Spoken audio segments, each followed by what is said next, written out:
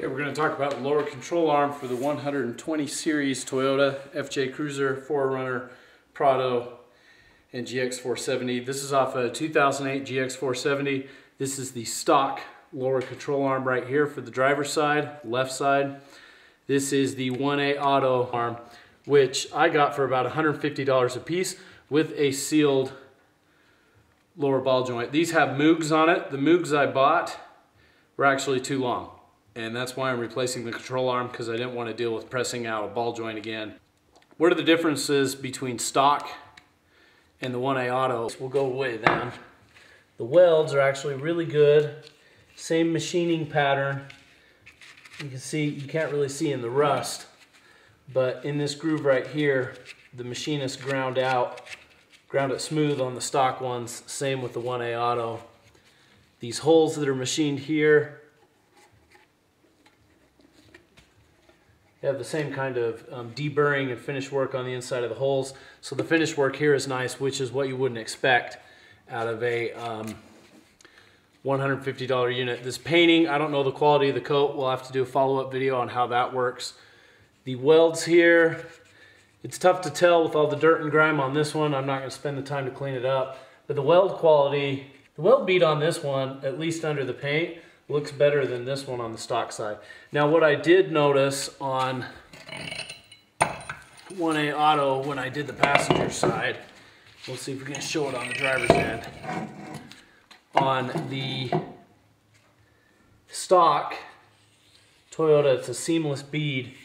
There's a seamless bead here, a seamless bead across this side. On the 1A Auto, they went to a bead and stopped here see the, where the two beads joined and they did that there. They did the same thing on the passenger side and the same thing here. I honestly don't think how it will make a difference. The boot on the 1A Auto is the boot's probably where your quality is going to lack and that boot will probably fail. But my guess is when that happens, I'll give Kurt at Cruiser Outfitters a call and um, we'll get the triple five bushings and just press these out, put these back in. And then what I'll, well actually what I'll honestly do is I'll buy another set of 1A Auto if the arms are holding up. I'll swap those out and then I'll take the other set as a hot spare and press them out and um, put triple fives in ready for the next time the boots fail. Because this job when you replace the lower A arm as a unit, is really, really easy. The only problem is having to do an alignment after. If you pull the whole arm and do it on a bench, it's actually a really easy job. But if they cheapened on the thickness of the steel, we should be able to tell from the weight. Now the stock A-arm with Moog ball joint and 10 years of dust comes in at 16.4 pounds. And the new 1A Auto should be lighter if they cheapened on the thickness of the, skill, the steel and the coating. And it checks in at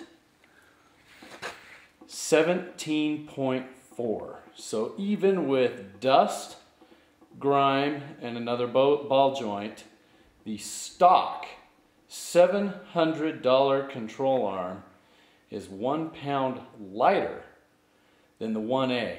And this would make sense with all the reports of everyone saying this thing feels better than stock, and it really does. So, let's do that again. Here's the factory one 16.4. And there you have it. The old low quality footage you just saw was taken in December of 2019 when I did the lower control arm swap out. Here is footage from August of 2022 as I was replacing the CV shaft. Here is the same lower control arm three years later after some mild off-roading, Utah winters with salt on the roads, and three years of daily driving. You can see that under the West Desert dust, the black finish is still good. I assure you there's no surface rust. The finish has held up way better than I expected. And here you can see that the boot on the lower control arm is held up quite well. I was surprised. At the time of this video, 1A Auto has these control arms listed for sale for $125 and their regular pricing is still 150, which hasn't changed yet over 3 years, which is crazy for this high quality, heavy duty lower control arm with a sealed ball joint. Now, if the lower ball joint starts to get loose or the boot tears, it might just be worth it to me to replace these control arms again rather than go through the work and effort to press in triple five ball joints. I am very impressed and pleased with these aftermarket lower control arms, and I would not hesitate to consider them for your UZJ 120 platform vehicle.